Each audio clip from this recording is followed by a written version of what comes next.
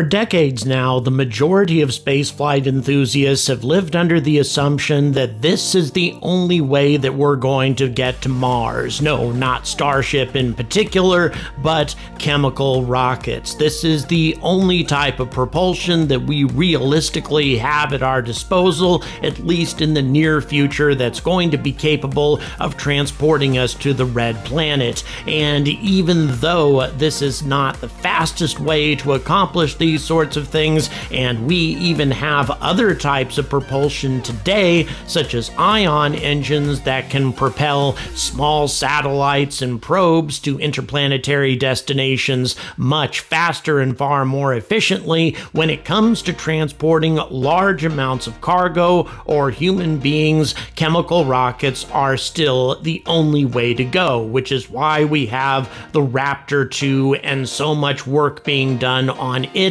and the BE4 and other types of propulsion that are maximizing the output of chemical rockets simply because we are reaching the upper limit of what these things are capable of. But is this really the case? Well, obviously, I've put out quite a lot of material as of late about things like nuclear thermal propulsion and the amount of progress we're making on that. And it seems very realistic that we are going to have a functional prototype by the middle of this decade and a fully functional nuclear thermal thruster by the end of this decade. It's entirely possible that NASA intends to use this type of propulsion to get us to Mars in three months rather than six, which has all kinds of advantages. But what about fusion? Well, in early February, as many of you have probably heard, just about every news agency announced that a major breakthrough had been made at the UK based JET Laboratory, which is part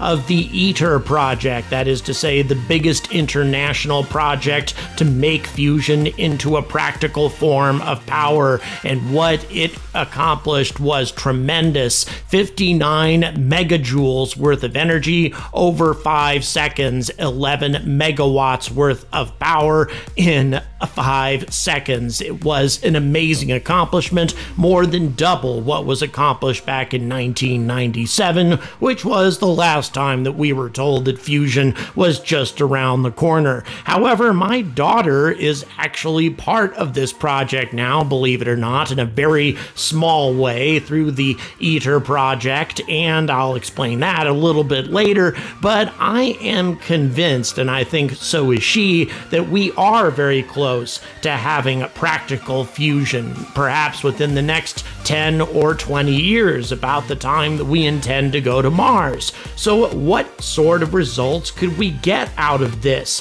How much of a difference would a fusion powered starship make in terms of transportation time, in terms of efficiency, in terms of other benefits? Well, the difference is dramatic. There are many ways to take advantage of fusion and to use it to get to other planets, but I'm going to talk about one in particular called a plasma thruster in just a moment.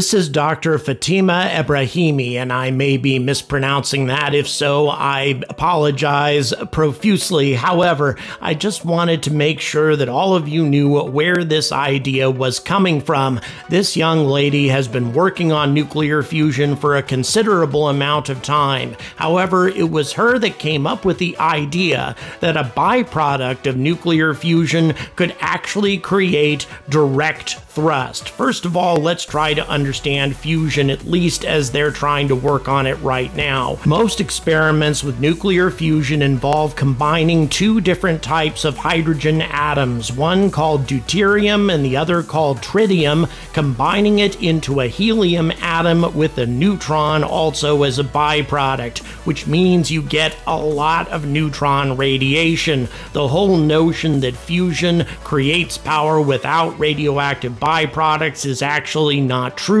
unless you're using helium 3. If you can do that, then you can do it without a great deal of neutron radiation. However, we'll get to that in a bit. What they're looking to do, of course, is to harness the energy of the sun. Nuclear fusion is, of course, what powers our star, what powers virtually every star in the universe, and it creates, of course, an enormous amount of energy. Only matter antimatter mutual annihilation might be able to produce a lot more energy. But one of the byproducts of our sun is something called coronal mass ejections, and one of those just happened in front of you right there, where an enormous amount of material is ejected from the surface of the sun as a byproduct of the fusion reaction. And this material actually follows magnetic field lines that twist and strain under the magnetic energy until ultimately they snap, something that you see quite frequently anytime that you watch any sort of image that involves a coronal mass ejection. And what the idea of a plasma thruster is, is to create mini coronal mass ejections going off every few milliseconds in the engine instead of a steady stream of accelerated particles. These are actually called bubbles of plasma or plasmoids, and these plasmoids can travel up to 500 kilometers per second, which is much, much faster than traditional rocket thrust. Now let's just make a quick comparison here. The RS-25 engine, which is one of the most efficient rocket engines that's ever been built, capable of a specific impulse of 453 seconds and exhaust speeds of 4.4 kilometers per second, is one of the best rocket engines that's ever been built. Obviously, the Raptor has certain advantages, but it doesn't have a specific impulse of 453 seconds. It it's almost 100 seconds, less than that. And yet, listen to the comparison between this engine and what's possible with a plasma thruster, or rather, a simulated plasma thruster. The simulated plasma thruster generates, as I said before, exhaust speeds of up to 500 kilometers per second, so 100 times as fast, and a specific impulse of 50,000 seconds. Now, just to be clear, the plasma thruster is not using the material used to generate the fusion reaction as propellant. It instead uses whatever type of gas you put into the fusion reaction, and that gets converted into plasma, and that in turn gets put out the nozzle of the rocket utilizing magnetic field lines that generated by the fusion reaction in the first place. You don't need to generate your own electromagnetic field coil in order to make this work. Instead, it has its own electromagnetic lines that makes the whole thing function. So that being the case, you can put just about any type of gas you want to into this, whereas traditional ion engines have to use gas like xenon in order to ionize it and create thrust, whereas this would be able to ionize just about anything, hydrogen, helium, etc., and use it as propellant, which means you could refuel it using in situ resources easily found anywhere in the solar system.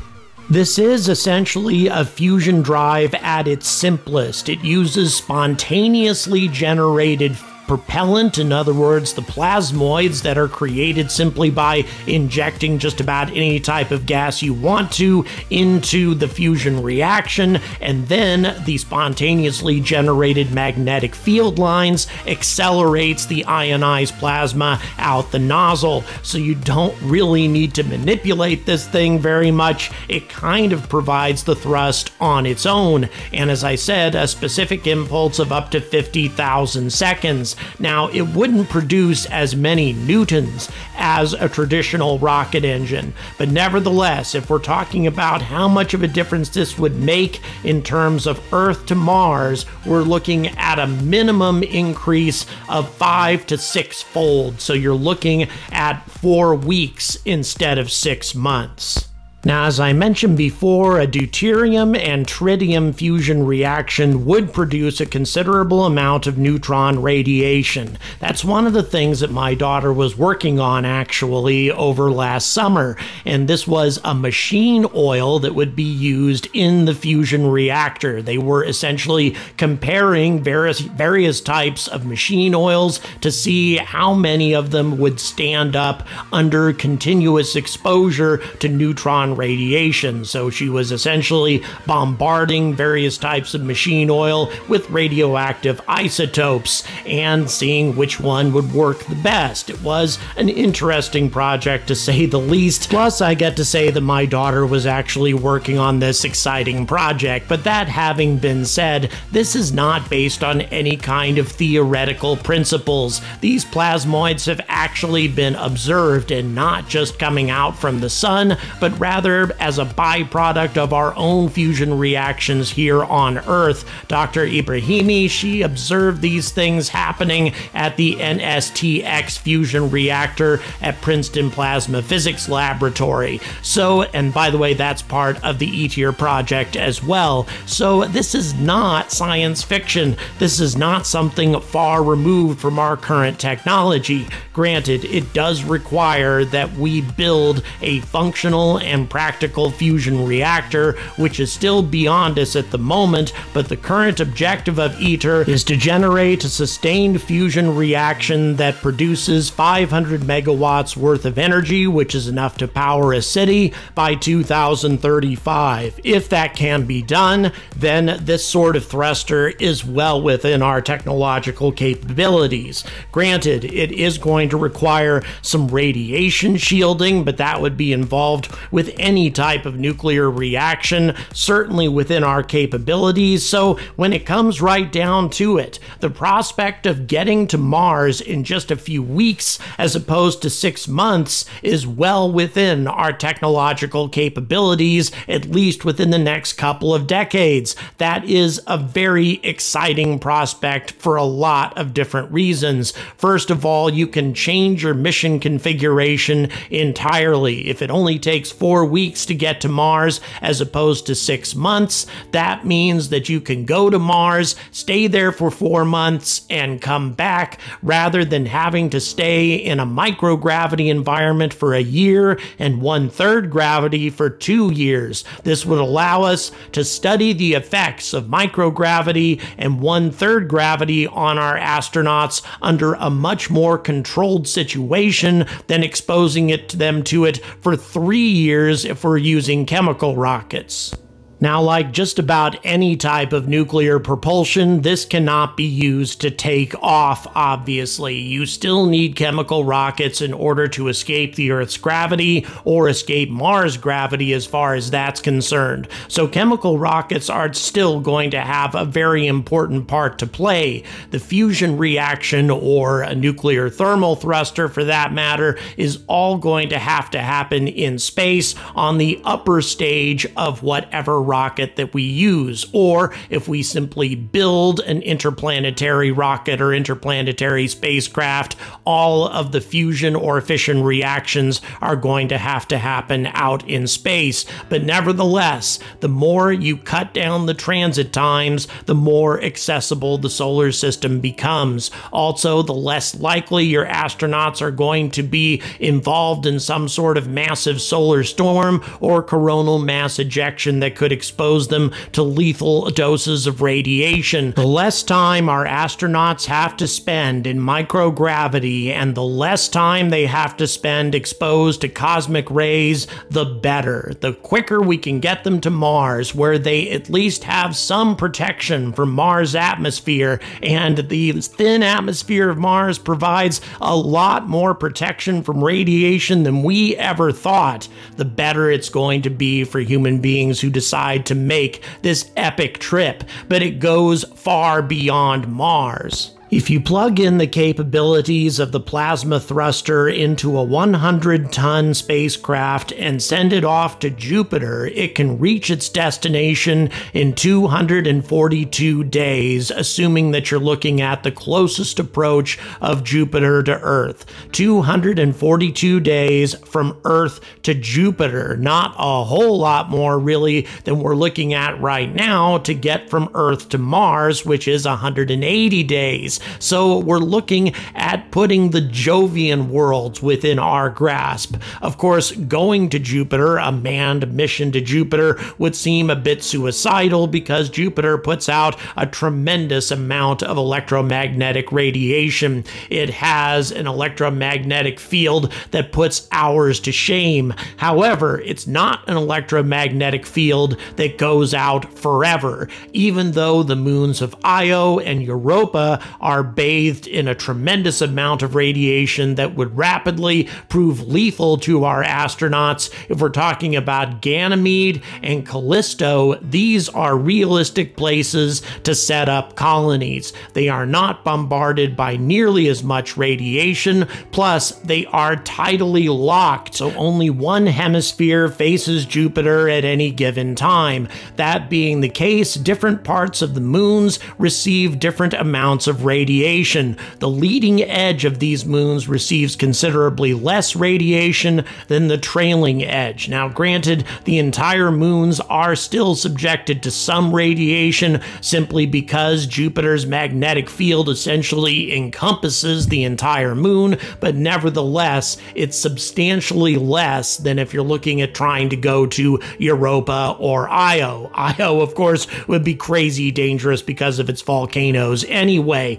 And then if you're talking about going out to Titan, things are just as optimistic. The distance from Jupiter to Saturn and therefore to Titan is roughly the same as the distance from Earth to Jupiter. So you're looking at the same transit time planet hopping, so to speak, from Jupiter out to Saturn. Titan is arguably the best place in the solar system for us to set up a colony simply because of its atmosphere. Its atmosphere gives it complete protection from radiation and cosmic rays. Yes, it's incredibly cold there, but you wouldn't need pressure suits like you would need on Mars or just about any place else. Instead, you would simply need insulating clothing and respirators not full fledged EVA suits, and there's no place else in the solar system, aside maybe from the upper atmosphere of Venus, that can really say that. Not only that, housing could be made of plastic that's produced from the unlimited resources harvested on the surface